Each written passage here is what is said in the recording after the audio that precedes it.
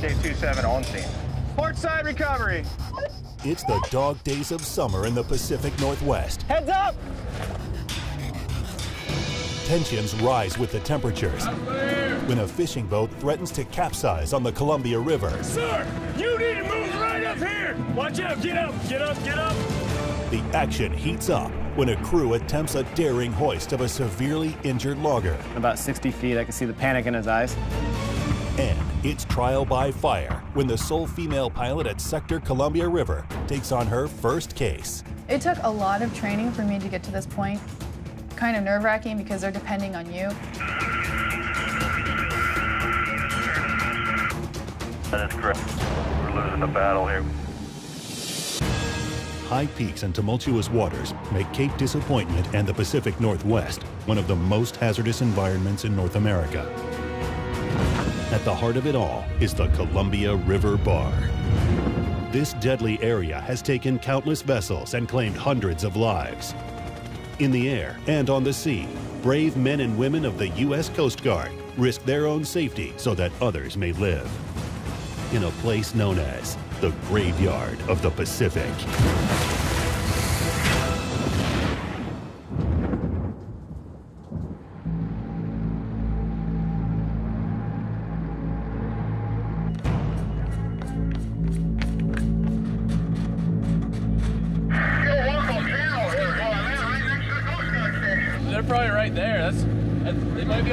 Fire. Fireman Anthony Maringolo, Coast Guard Station, Cape Disappointment. We received a report around uh, 12 o'clock midnight of a, uh, a vessel that had struck a buoy.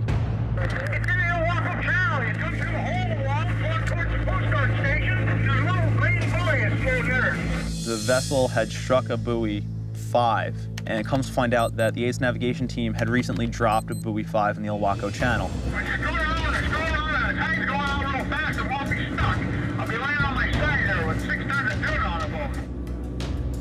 Uh, BM1 Nathan Burns, Cape Disappointment. Summertime is prime tuna fishing season here. Mariner was uh, quite irate on the radio. He was very unhappy, and we wanted to get there to make sure that he didn't hurt himself. Uh, everybody was all right on board. It's a 40-foot fishing boat, two people on board. They didn't say they had any injuries. Literally just outside our back door, we came upon a vessel that did not have any running lights to speak of, and he was sitting real, real close to the buoy, and he appeared to be very hard aground, listing slightly to his starboard side. Go ahead and put a light on him so we can see. Okay, he's off the buoy. He's not on the buoy. Wesley Hall, MK2, Station Cape Disappointment. So as we arrive on scene, we're taking our time. We're making sure it's safe for us to be there. I mean, it was dark. That was the biggest contributing factor. Are you taking on water?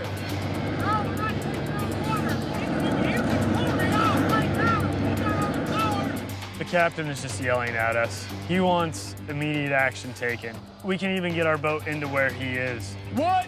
Are you reading for depth right now? Depth, There is no depth. The meter's zero. We're out there during the ebb, so we're losing water rapidly, and this is the captain's main concern, that now he's gonna become even harder ground than he already is. We gotta set up our deck, and then we're gonna come over and tell you. Just stand by one minute. As soon as we can, we're gonna get you off, okay? Well, if you wait too long, you ain't gonna get me off. I understand, sir. I'm laying over in the bed. You see that? This is gonna turn into a bad situation. Skipper, you gotta settle down. He put himself on that shoal, and now we're there to pull him off, and he's yelling at us. It's an added stressor. We're trying to communicate amongst ourselves and to him, and when he's just yelling at us, it does not help. Sir, is your wife okay? You're all right, ma'am? I'm fine. We try to keep the gentleman calm, ask him how his wife was doing, sure to shift his focus. If that's not working, unfortunately, you just kind of let him go. Eventually, he'll burn himself out. Heads up! Nice shot. We got the line over to him, put it on board, a large cleat on his deck. Clear the bow! Heavy strain! Sir, clear the bow! Stay back! We're not exactly sure how strong that hull is and if that cleat is going to really be able to support whatever we're pulling. He's moving a little. As we start pulling him again, his starboard quarter starts to go underwater. That's bad for us, bad for him. We don't know exactly where all his bilge accesses are, and we don't want his bilge to fill up with water. Once he gets clear of this, we're gonna shift around. I'm gonna get onto his starboard side. I told the crew we were gonna come alongside to try to put the boat in a side tow to keep it from rolling over. Shift fenders, lines in the water. As the tide goes back out to the Pacific Ocean, it's basically just getting more shallow and more shallow. And uh, listing to starboard like he was, it wouldn't be too long before that boat, if not tended to, would then lay down over on its starboard side in the sand. Skipper, you need to settle down and listen to me. Slacking two! Sir, you need to move right up here. You're the big boy. Sir, I understand. Your safety's number one here. I cannot have you in between these two boats. You have two very large vessels, both under strain. If someone were to slip and fall in between the boats, you would be crushed. There's, there's no nice way to put it.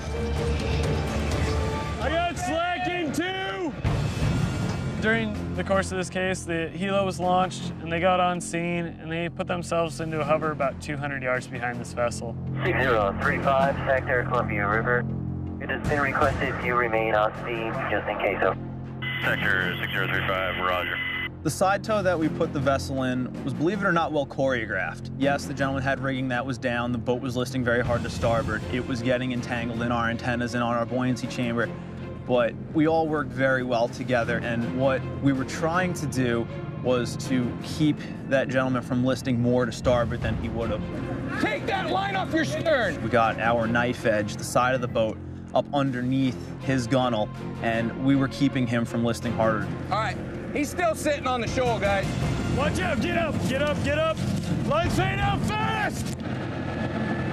Put a working turn on, we'll try this again. When we put the vessel back into a bow-to-bow tow or an inverted tow, it's very dangerous. It was an older made boat. The cleats on deck probably were not very sound. And having a line connecting both boats and the strain on that line, if that cleat were to let go, you're gonna have a snapback and uh, it's not good. Snapbacks can cut people in half. Sir, get back!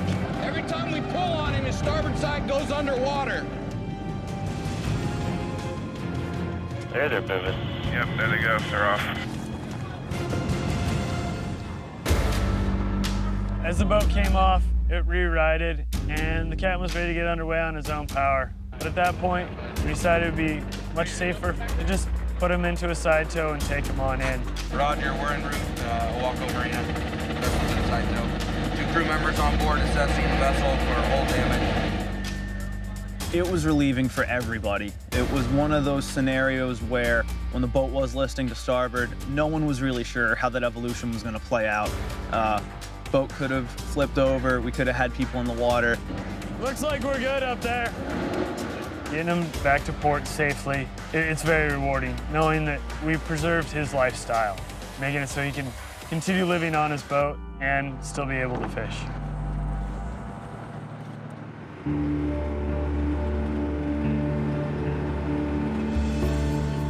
My name's Mel Van Ronk.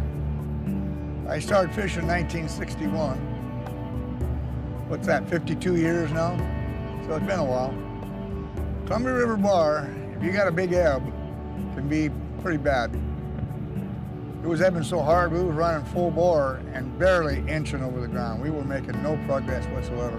Yeah, I was aimed the right direction, but the tide had me tearing me sideways and I didn't realize it. And the thing I was trying to avoid, which was buoy number five, is exactly where I hit the mud at. I could just see everything going with the tide, as you might say. The Coast Guard, thank God they sent that boat that had that much power. It would have been another 15, 20 minutes. Might have lost the boat there. Now, I've had this boat for 45 years, you know, and I'm too old. I'm 73 years old. I don't want to start over again. I ain't gonna. So, and I ain't ready to quit yet either. So I just continue on doing what I was doing. We're headed for another trip. We're lucky it could have been a hell of a lot worse. The station received a call of a vessel taken in water. How many persons are on board your vessel? Two. Two persons, two dogs. Eventually, it just became too much for them, and the boat capsized.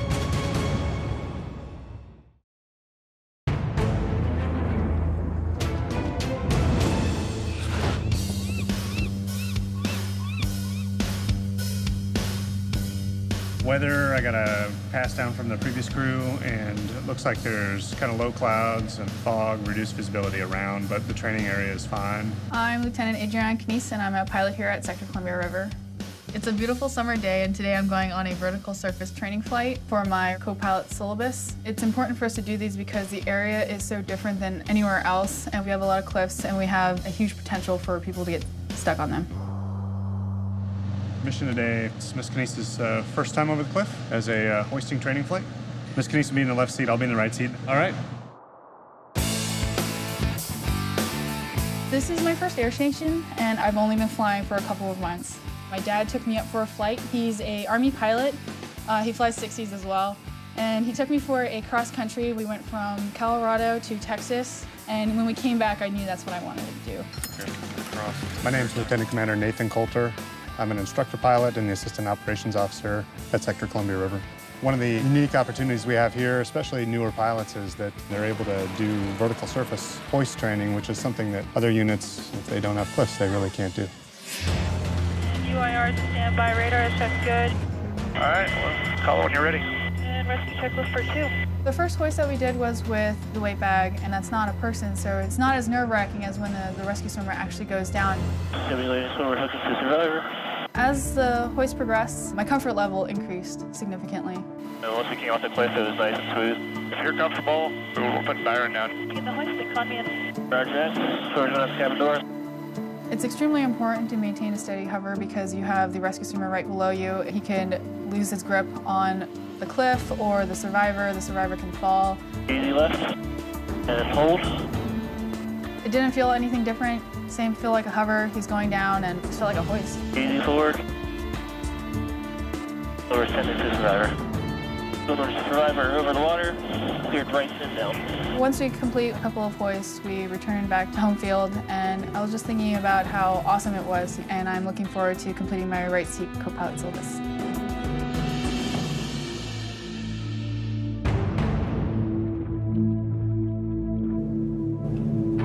Go ahead, sir. I'm having trouble trying to get back to Chinook. I'm above the bridge on the Washington side, taking on major water. Station received a call of a vessel taken in water in the vicinity of the Washington side of the Astoria-Megler Bridge. I'm not sure if we're going to make it. Okay, sir, how many persons are on board your vessel? Two.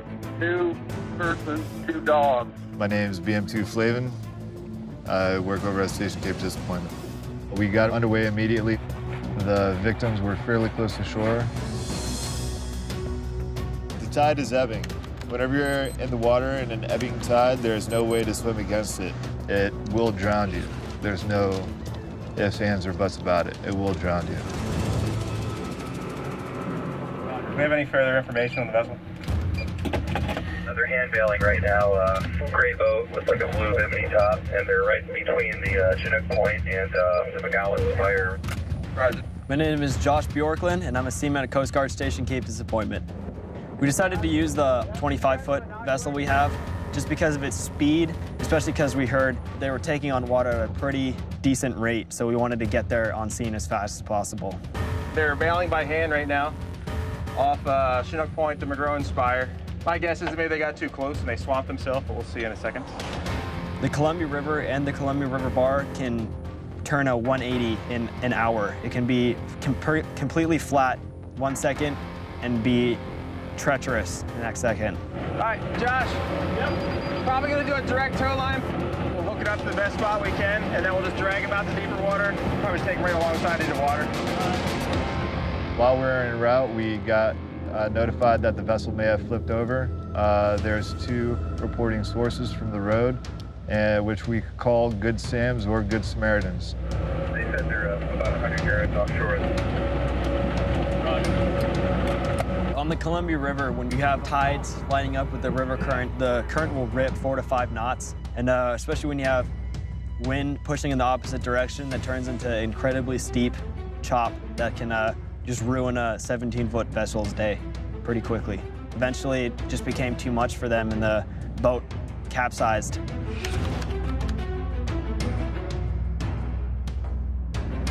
Hey, Josh. Grab the binoculars and just get a good scan on the, on the shoreline. MK3 Derek Brandon at Coast Guard Station Cape Disappointment. When we were looking for the vessel and uh, when it was pretty choppy out, it's kind of hard because you get the white caps on top of the waves, and usually the underside of a boat is most of the time it's going to be white. So at first we were kind of looking at white, and you would see a wave, and you'd be like, oh, that might be them, or maybe it's them over there. Negative visual. Uh, you can have them on the landline try to uh, wave us down if they see us. Over. I see a boat moving up on the shoreline over there. See it? You see like that, uh, I think that might be it, like zero, zero, zero. Right there? Yeah, what's that white?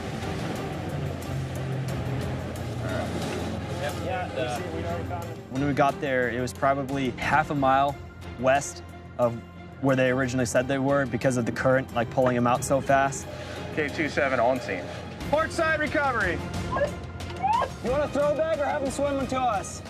Uh, just be ready with the flow bag.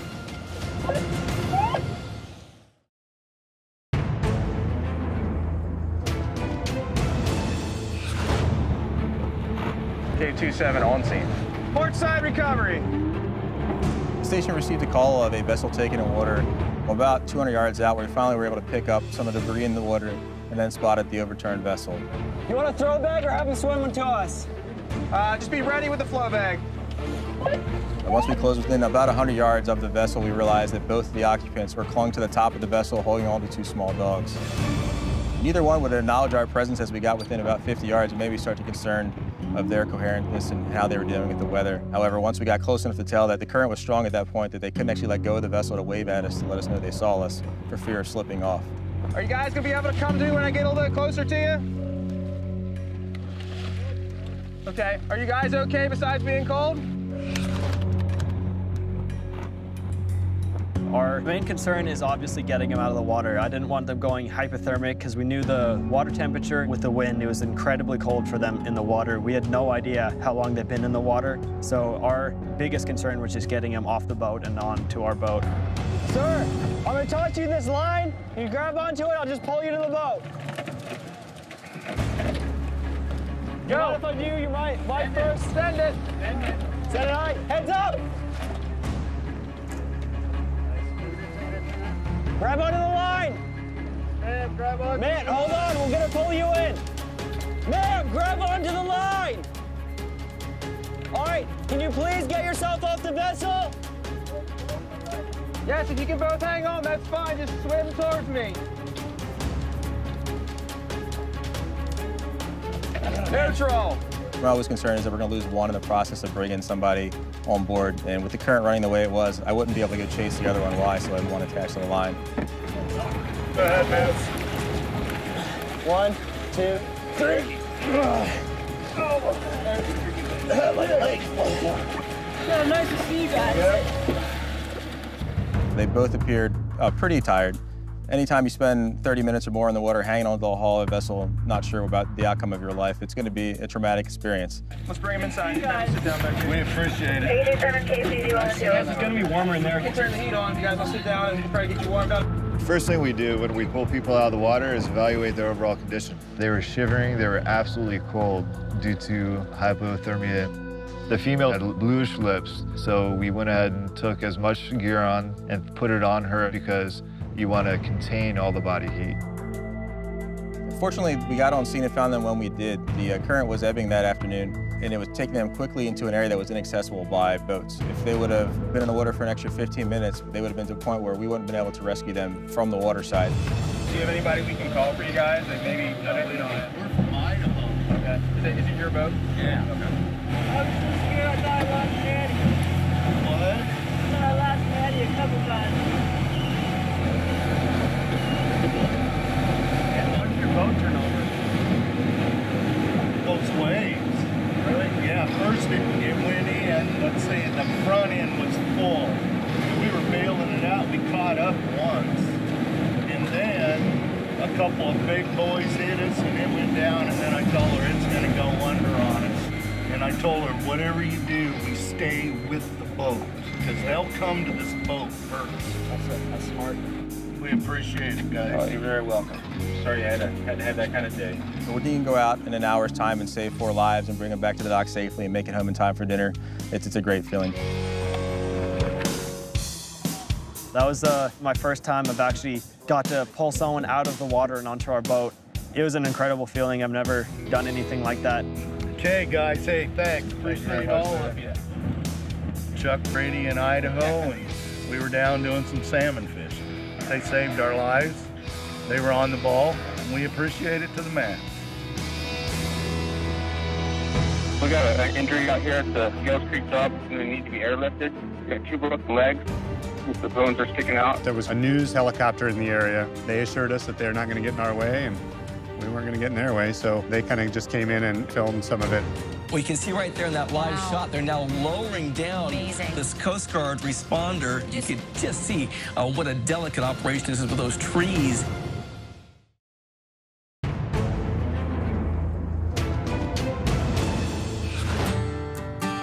Just getting back to the sunshine. Overall, a really, really nice July week ahead. That's your weather. Let's send it on over to Tony now with a check on traffic. All right, Brian, back out to Air 12. They're over Highway 6 at about milepost 35 in the Gales Creek area. There are several emergency responders on the scene here. It sounds like there's uh, someone in this area with a traumatic injury. So is this the Coast Guard? It sure is. We got an injury out here at the Gales Creek job. We're not logging. We need to be airlifted. We got two broken legs. The bones are sticking out. Number one, number two generators are on. Reporting takeoff. Sector Rescue 35 currently en route to the report of an injured logger. I'll copy over. Brad Simmons, Air Station Astoria. Currently working a case with an injured logger about 38 miles from Portland. The ground party is operating on 22 Alpha and have a position. It was a short flight. We did learn from sector that Forest Grove Fire Department paramedics were currently on scene. And we also had a latitude and longitude mark so we could fly directly to the point.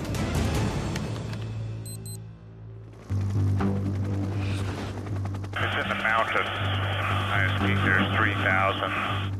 Lieutenant Commander Nate Coulter, we'd been briefed that he had two broken legs. We didn't really have any other details about the case or what had happened to him. Uh, we knew that he's in a lot of pain. He had some serious, serious injuries. Yeah, ground party, if you got a paramedic down there, we'll need to hoist him as well. There is a paramedic there, and he'd be happy to join you. On the way out there, we talk on the radios and get amplifying information. There was a clearing way at the top, and a log got loose from up there and rolled all the way down and hit him where he was. So he just rolled right over him. Oh, At Sector Columbia River, we assist with inland search and rescue missions probably uh, 20 times throughout the course of the year. The H-60 is unique to the area because we have a 200-foot long hoist cable, and we can uh, lower our swimmers down and reach people that other people can't. All right, I think this might be it right here.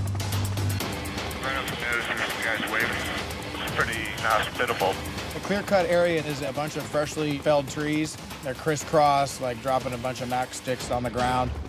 Brad, you want to go down with the trail line? Yes, sir. Roger. Be advised, there's news helicopters in the area. Very well. I have aircraft inside at 2 o'clock. roger. Okay, on the TV helicopter just above you. All right, we'll uh, drop down and we'll stay below you. Brian, right back out to Air 12. They're over the area of Gales Creek, just north of Highway 6. That's a live picture, Deb, of this Coast Guard helicopter, which has just arrived in that area to assist in the response to a traumatic injury. There was a news helicopter in the area. They assured us that they're not going to get in our way, and we weren't going to get in their way, so they kind of just came in and filmed some of it. It's very difficult to get uh, some of this information together. From what we understand, they're going to lift this person up and transport this person to a hospital. Man, just be advised they are ready for your set. Okay, just give an eye to the back of the helicopter. You know, look for obstacles and any other safety concerns. We had to descend to uh, within 10 feet of the trees, so a stable hover is crucial. Roger. And swimmer is ready. Roger, begin hoist. Swimmer's going out the door for load check. As I'm going out the door, I say a Lord's Prayer and a quick Hail Mary. Load check complete. Swimmer's going down. And then I just focus on the spot that I want to put my feet down. Swimmer's going down. Slight spin. I am William Jones. I'm a flight mechanic. Upon lowering the swimmer down, started spinning a little bit. My first priority is make sure that he's not going to hit anything, and also uh, at the same time making sure that the helicopter's not going to hit anything either. We can see right there in that live shot, they're now lowering down Amazing. this Coast Guard responder. You can just see uh, what a delicate operation this is with those trees. Swimmer's about 30 feet above the surface. Roger. I'm in the orange on my uh, cable. The last 20 feet of cable we have in the 200 feet of usable cable, uh, it's all painted orange. Swimmer's going down. I'm almost at the ground, find a decent spot where I can put my feet down um, and then tend the trail line, and I come to a stop. But we were out of cable. So our initial hoisting position ended up being about 220 feet, and then we had to come down a little bit lower. Copy down. It's, uh, we're clear. Roger, and fleeter down. Pilots started uh, slowly maneuvering the helicopter down below some of the treetops. And fleeter down. Constantly looking back at the uh, tail rotor, making sure that our clearances were still okay. Clear down. And swimmer is on deck. And swimmer's clearing some debris away from him. That's some work for him trying to get around all those logs, I imagine. Once I get down there, there is a first responder from Forest Grove, and my priority is to start the hoisting evolution. I try and get the paramedic up to the plane. That gives me an opportunity to get the patient into the litter, which does take some time. Dispatch going up the cabin door. Roger. I am ready for pickup signal. Roger. And I assume it's probably been his first time ever being hoisted into a helicopter. On about 60 feet, I can see the panic in his eyes. Bring him inside the cabin. And medic is out of the basket, hoist complete. And looks like he's connecting the hook to the litter. And I am ready for pickup signal. Taking the load. Once they start taking up the cable, we use the 210 foot trail line to keep the swing to a minimum. Driver's about halfway up.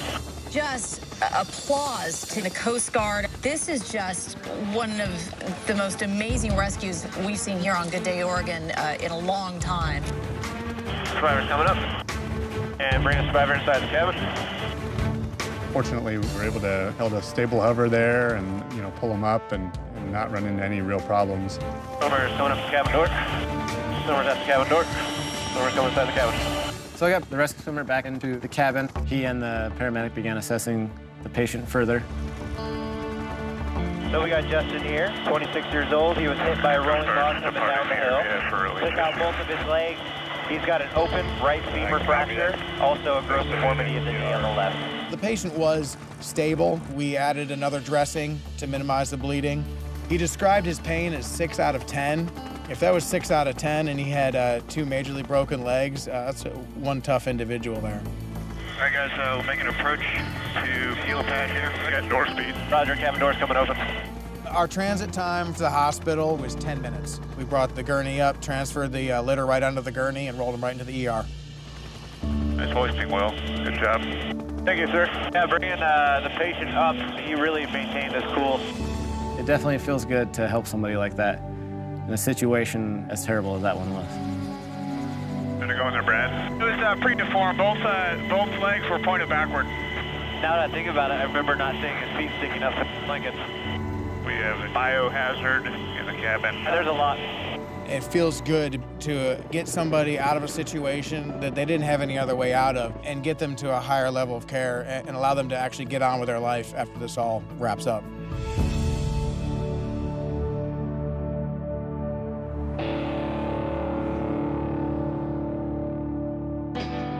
My name's Justin Johnson. I was logging, and uh, here's my story. I had a logging accident. We were at a Gales Creek, Oregon. I noticed my, during a foot tree, it's cooking down the hill. And eventually it got down like 20 feet away, crossing, going a totally different direction. It hit an old growth stump, turned right at me at 100 miles an hour.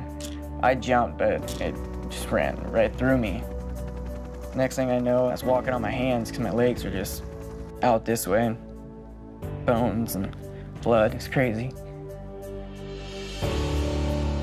My leg was hanging off, like skin. At that moment, I didn't even want to think about my legs. I just told Caleb I'm not going to make it. Tell my family I love them. I just thought it was plain and simple that I would die right there in the spot. At that time, help wasn't even wasn't fathomable, you know. Caleb jumps on me right away, Try stopping the blood. Medic people show up. So they get me in the litter after the guy rappelled down, start hoisting me up, covered blankets and all that. These guys go to crazy lengths to save people, and I thank them for that. If they didn't, I probably, probably could have died. I feel like I'm progressing pretty quick, getting my feeling back a lot. Later, I'll be back to riding dirt bikes and back to skateboarding and back to chasing around my little girls. I got a second chance and I, I'm gonna run with it.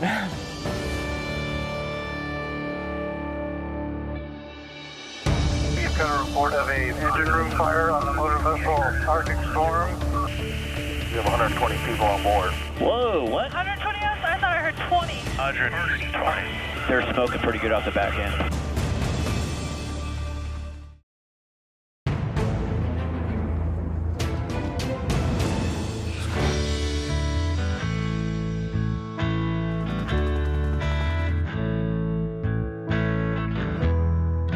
We've got a good wind, you can sit here all day long and not spin the boat.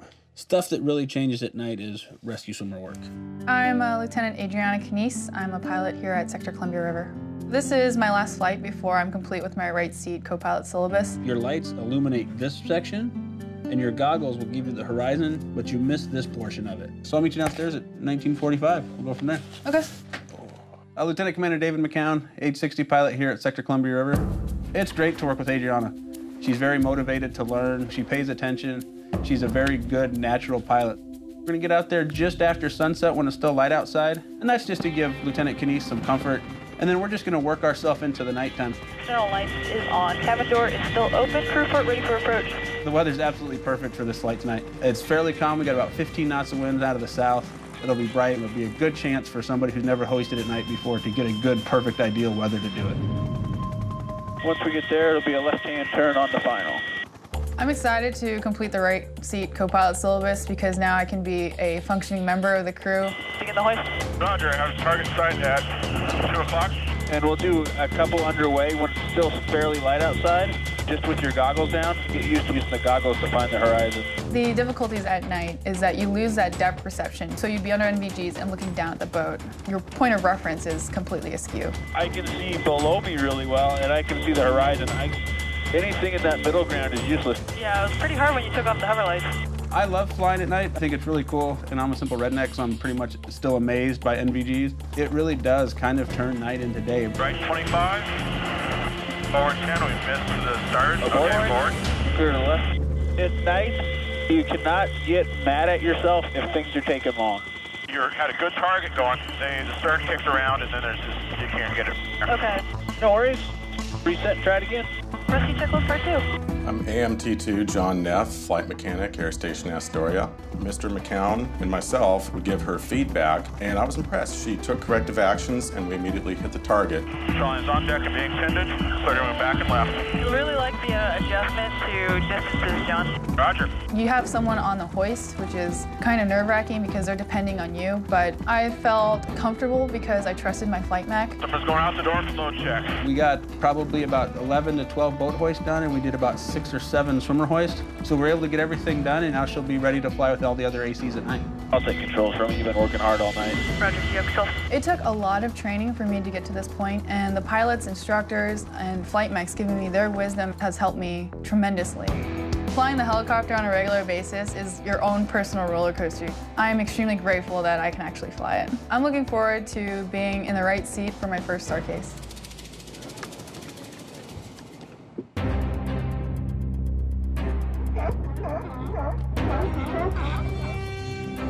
Coast Guard Arctic Storm. I've got an emergency. I'm dead in the water. I got an engine room fire right now. I'm trying to get it under control.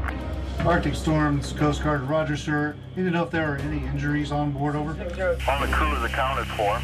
We have 120 people on board. Captain Bruce Jones, CEO of Coast Guard Sector Columbia River.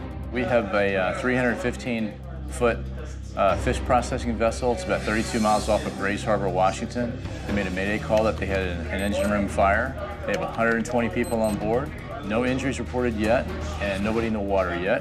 Can you pick up the helicopter? 6029, we have got a report of an engine room fire on the motor vessel Arctic Storm. 120 persons on board. Whoa, what? 120. I thought I heard 20. 120. A lot of people. Yeah. Lieutenant Jesse Culver, um, H-60 Aircraft Commander, Astoria.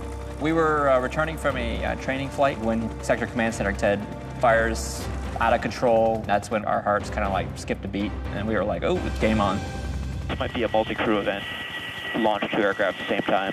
At that point, we uh, started planning immediately about how we could most effectively get on scene.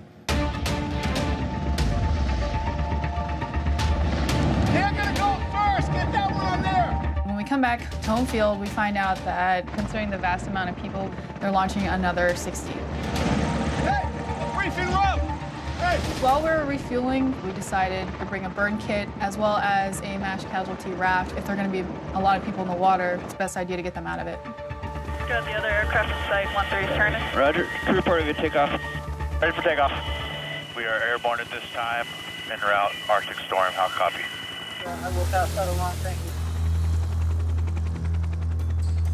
So we are how far out? Uh, 20 minutes. Okay. So this is my first case in the right seat, and what was going through my mind was, holy crap, uh, I hope I don't screw this up. But I'm glad that my training has prepared me for this situation. I want to make sure we have eyes on from the air at all times if they go in the water to make sure people don't drift away. AMT-3, William Jones, flight mechanic here at Sector Columbia River. Before we get on scene, we're just preparing for the worst case scenario. Uh, in this case, people jumping overboard, the uh, boat being fully engulfed in flames. Got the boat inside. It's up and nose about 1 o'clock. Yeah, Roger. You can start coming down. Coming down. They're smoking pretty good off the back end. When we got on scene, there was smoke still coming out of the, the smokestacks, but most of the fire is actually in, inside the engine room. You can see uh, where it's hot in the engine room, for sure. Yeah, definitely. AC-3 Ty Gansel, rescue swimmer here at Air Station Astoria, Oregon. That's a huge ship. It's a lot of fuel in that thing. I mean, just think of how much oil and gas and just flammable items that are down in the engine room. A lot of people. Yeah, it does look like they're wearing very uh, protective gear there, huh? Trying to look to see if maybe they have Gumby suits ready on deck. I don't see anything, man. The water's cold up here, so if that thing caught on fire really bad or blew up, and they did have to jump in the water, they can just drop down on the vitals really quick, and you have to get in there and just hoist some people off from there, because you're not just gonna have them all jump into the water freely. That's just dangerous.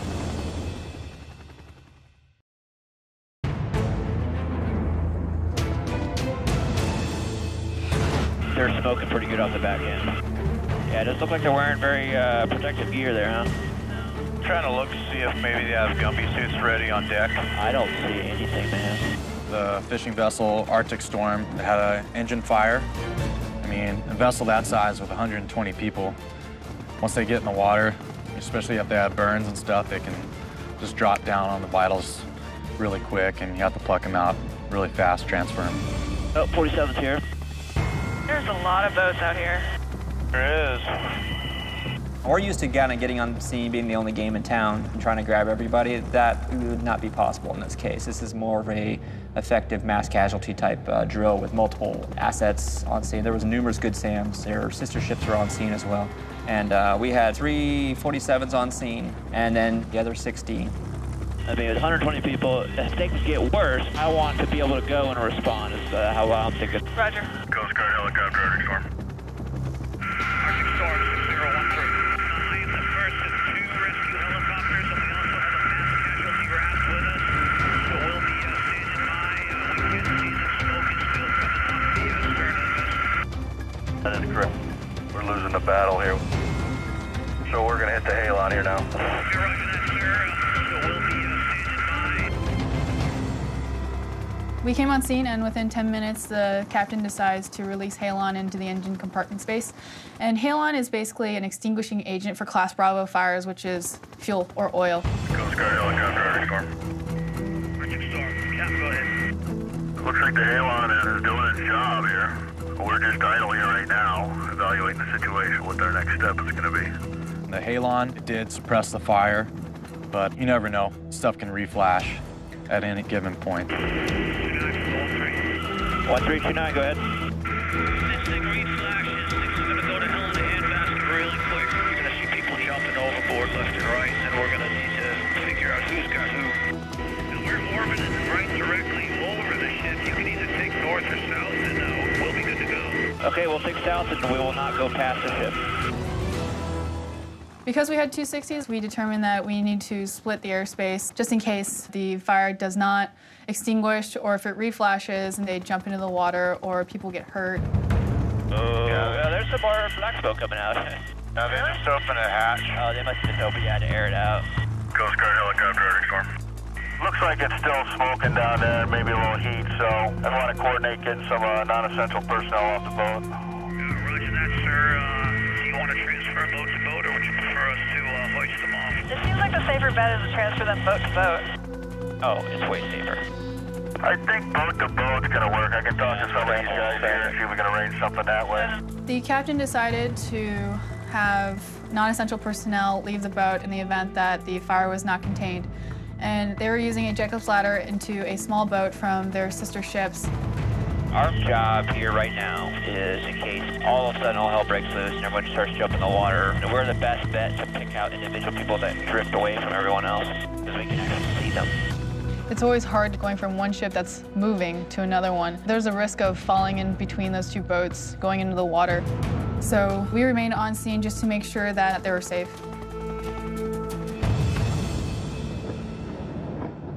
So all of them are off, right? I think so. 29 Sector, you can RTB at this time. The crew is in disembarker. Once all the non-essential personnel were taken aboard their sister ships and we found that the fire was under control, Sector let us return home. And Sector from the 29, oh, Roger. That sounds great. See you in about approximately 30 minutes. 29 out. Adriana did great. It's one of those cases that once in a lifetime, she may not see anything like this again in her career, but uh, she handled herself real well, and I hope she goes on to, to bigger and better things. It was a wonderful feeling knowing that everyone was aboard their sister ship safely. I'm extremely fortunate to be a pilot in the Coast Guard to where I can use my talent and experiences to assist people in need.